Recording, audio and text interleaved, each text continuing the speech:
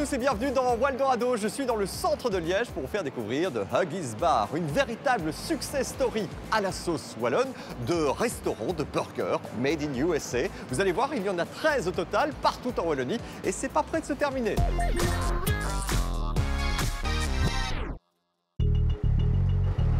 C'est bon? Cool. Bonne journée, hein Salut, au revoir.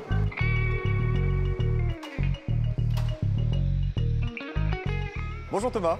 Salut David. Alors on est en face de Huggies, euh, ben, l'un de tes restaurants ici. Euh, je voudrais savoir comment tout a commencé. Alors je dirais que Huggies, ça vient de trois choses. Ça vient de ma rencontre avec Roberto pendant nos études à HEC. Il y a ensuite la passion pour l'oreca. En tant qu'étudiant, on a toujours travaillé dans l'oreca avec cette passion pour la cuisine, euh, cuisiner à domicile, faire plaisir. Et finalement, avant de rentrer dans le train-train du travail, on a voulu vraiment se faire plaisir. Et là, on est parti aux États-Unis. On est tombé complètement amoureux de la culture américaine et des burgers de qualité. Et donc voilà, quand on rassemble les trois éléments et qu'on revient en Belgique, on se dit ok, euh, il faut qu'on crée quelque chose, il faut qu'on partage ce qu'on a vécu là. Et c'est comme ça que le Huggies est né. D'accord. Huggies, euh, à l'heure actuelle, en termes de chiffres, ça représente quoi? Donc on vient d'ouvrir notre 13e restaurant à Gosselies et on est présent un peu partout en Wallonie. C'est euh, déjà presque 300 personnes, donc c'est assez gourmand en, en staff. Gourmand, On a- ah oui, gourmand. Ah oui, on emploie les, certains mots référents, on va dire. ouais. Exact.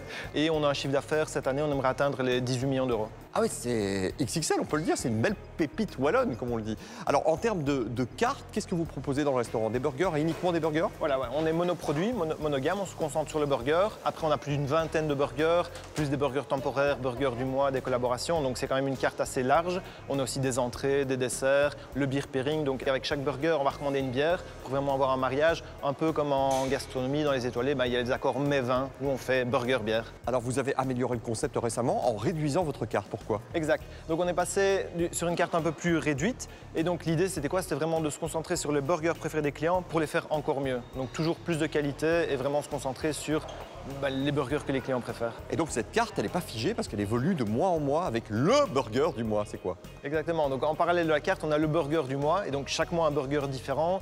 Et donc c'est vraiment génial parce que ça nous permet de faire des collaborations, de travailler des produits de saison, des produits d'exception, mais aussi de faire des, des concours. Récemment, on a fait un concours client. Donc on a fait un appel à tous nos clients pour venir nous faire déguster leur création et on a choisi un, un peu en mode top chef, il y a eu un jury, etc. Et donc on a choisi le meilleur burger client et c'est devenu un burger du mois qui était disponible dans tous les restaurants. Et donc celui de ce mois, c'est lequel? Donc ce mois-ci, ça va être le Mortadelle Burger. Donc c'est un burger inspiré du meilleur burger de Chicago euh, qu'on a goûté lors, lors de nos voyages là-bas. Et donc on a voulu reproduire ça ici.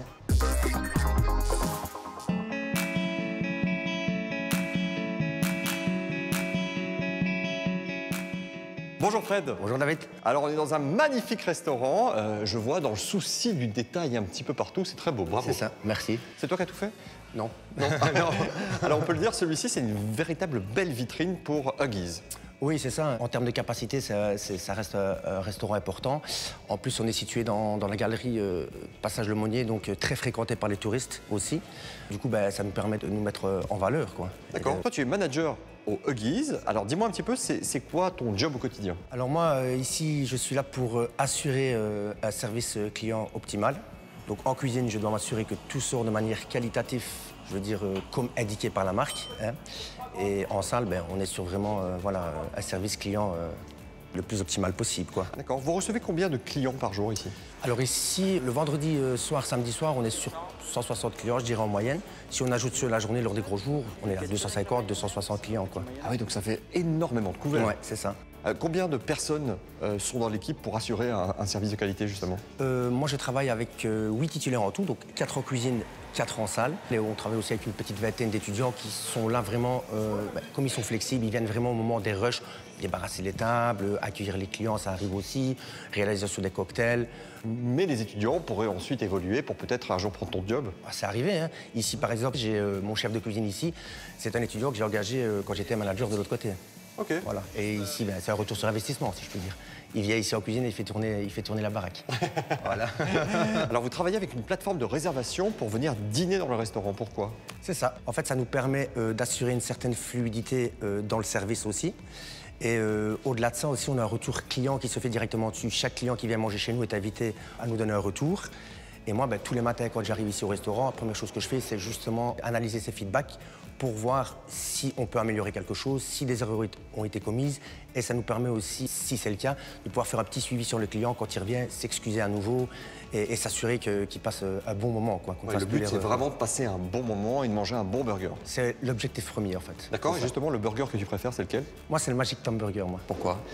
Euh, je pense que c'est la croquette de fromage en fait qui, fait tout. On est, sur, une, donc sur un pain classique, on est sur une viande pur bœuf avec un cheddar irlandais, double bacon snacké, oignon cornichon, évidemment la fameuse croquette de fromage et tout ça nappé de sauce poivre maison. Donc, euh, que demande le peuple? Franchement, une dinguerie. Merci beaucoup Fred.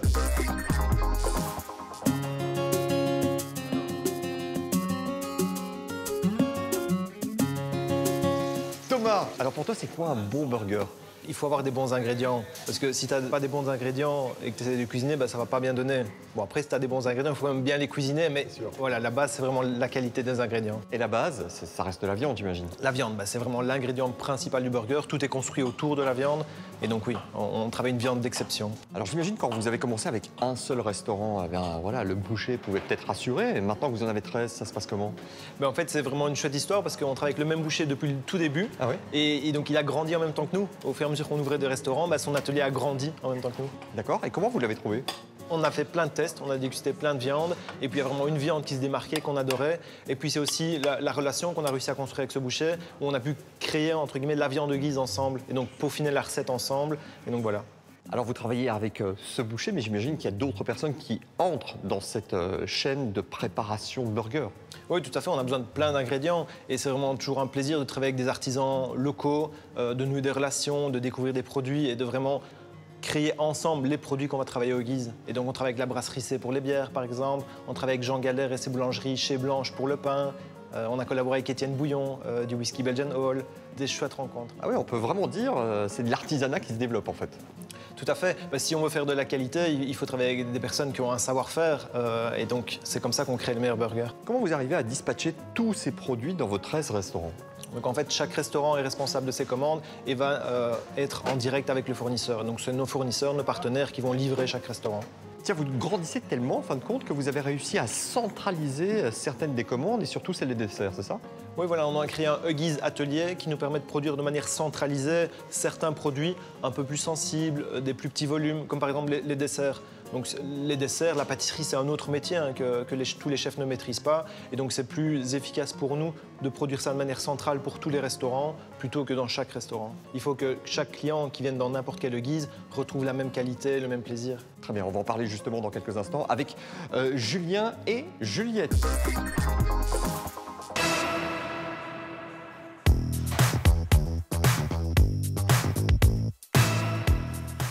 Julien et Juliette, bonjour. Salut David. Alors, on va parler un petit peu de ce que vous faites comme métier. Toi, tu es responsable des opérations. Euh, en, quelques mots, c'est quoi? Moi, je fais plus le focus sur la partie salle et manager. Euh, mon homologue Arnaud, lui, fait plutôt la partie cuisine. Et donc, ensemble, on va définir les méthodes de travail pour pouvoir les dupliquer dans l'ensemble des restaurants. Euh, donc, par exemple, on va s'attarder sur le discours de nos serveurs. Euh, pour leur donner les outils euh, afin de comprendre les envies de nos clients et d'y répondre correctement. C'est surtout l'idée de standardiser euh, l'ensemble de nos process. Juliette, est-ce que tu fais aussi? Oui, mais moi, sur le terrain. Littéralement, je travaille avec les équipes, je teste, je les accompagne, je leur donne des conseils sur base de ce que Julien me demande, et, et puis on avance ensemble. quoi. D'accord. Est-ce que, en fonction des régions, il y a des guises différents? Ils sont tous différents au niveau de la clientèle, au niveau des équipes déjà. vraiment toutes les attentes sont différentes. Donc il y a des choses qui changent, mais il y a des choses qui ne changent pas. Oui, le fond reste totalement le même. La, par exemple bah, La manière d'accueillir, par exemple. Quand on accueille un client, on veut qu'il se sente bien. Euh, on veut que le discours soit à peu près le même partout, sans être des robots. Ok, oui, donc il y a un souci du détail qui est quand même hyper important. Oui. On essaye vraiment de le mettre à l'aise pour qu'une fois qu'il arrive, bah, l'accueil c'est vraiment la première vision, ça va être un peu la carte de visite du restaurant et donc il est primordial pour que le client se sente bien. Tiens, est-ce qu'on peut vous appeler ou t'appeler euh, lorsqu'un restaurant est en difficulté? Euh, Oui, justement, c'est à ça que je sers aussi. C'est quand Julien va discerner qu'il y a un restaurant qui a par exemple une baisse de satisfaction, il va me dire d'aller sur place, de trouver le problème, de le régler. J'en parle avec eux, je leur explique pourquoi est-ce qu'un client doit être satisfait jusqu'à la fin, pourquoi est-ce que le suivi est important pour justement avoir toute cette expérience et qu'ils repartent en se disant bah, j'ai tout eu et euh, je suis content. Alors, il y a, il y a d'autres exemples, euh, j'imagine, mais en, en 13 ans euh, d'existence, ben, le concept a évolué aussi. Vous avez dû vous adapter. Bien sûr, on évolue constamment, euh, ne serait-ce que sur la, la conception de, de nos établissements. Donc on vient d'ouvrir ici le 13e restaurant sur Gossely. Euh, et c'est vraiment super intéressant parce que de projet en projet, on s'améliore, on va vraiment faire un step en qualité.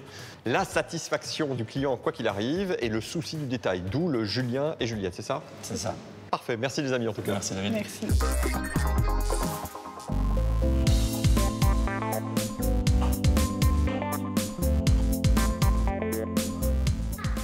Ça c'est une surprise. Et voici. Ça, c'est un magic tom avec la croquette de fromage et une sauce tiage, c'est la sauce maison. Alors ça c'est pas un accent liégeois quand même. Pas du tout. On est où Italienne. Ah voilà, c'est Joli, non. Bon Très accent. joli, très Merci, joli. Vous êtes gentil. Voilà, Merci. bonne dégustation. Merci beaucoup. Avec plaisir. Merci. Alors le Magic Tom est là.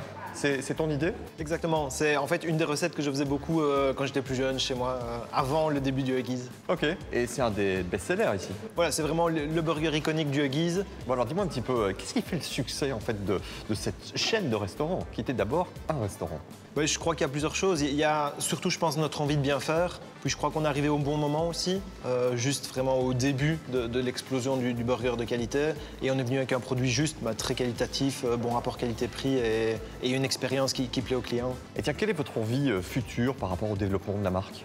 Dans les quelques années à venir, là, l'idée, c'est de continuer notre expansion en Wallonie et à Bruxelles pour arriver à plus ou moins une vingtaine de restaurants, ce qui, on pense, est un bon nombre, aussi bien d'un point de vue ambition personnelle, de, de taille de groupe qu'on a envie de gérer, que d'un point de vue de réussir à, à remplir notre marché local. D'accord. Et l'international peut-être? Peut-être plus tard, pourquoi pas. euh, Il y, a- il y a un, un doux rêve, ce serait de, bah, de réussir à exporter le, le concept Guise dans, dans des grandes villes européennes et un peu jouer ce rôle d'ambassadeur du concept Guise. Et quelles sont les prochaines villes wallonnes qui vont accueillir un Huggies? Voilà, donc actuellement, on cherche à Mons, Marchand-Famenne, Arlon et Jean-Blou. Ce sont nos, nos pistes principales. Ils ne sont pas des franchisés, hein. c'est vraiment des, des- des restaurants en nom propre, comme on dit. Voilà, on exploite tous nos restaurants nous-mêmes. C'est c'est important pour nous pour euh, s'assurer de, de la qualité, de l'homogénéité à travers tout le groupe. Tiens, Tom, en, en 13 ans, est-ce que tu t'imaginais un, un tel succès? Bah oui et non. Euh, quand on se lance, on veut commencer avec un. Maintenant, on rêve aussi et c'est facile de se projeter, de dire tiens, qu'est-ce qui se passe si ça marche, si ça. Et on avait aussi des ambitions. Donc oui, d'une certaine manière, mais peut-être pas à ce point-là. En tout cas, les clients ont le sourire comme toi chaque fois qu'ils viennent manger euh, au Huggies. Merci en tout cas pour cette belle rencontre. Avec plaisir. Bon appétit. Ah bah oui, on va le tester quand même. Hein Allez, on vous dit à très vite dans Eldorado pour la découverte de pépites wallonnes comme celle-ci. À bientôt. Ouh, il est beau. Bye.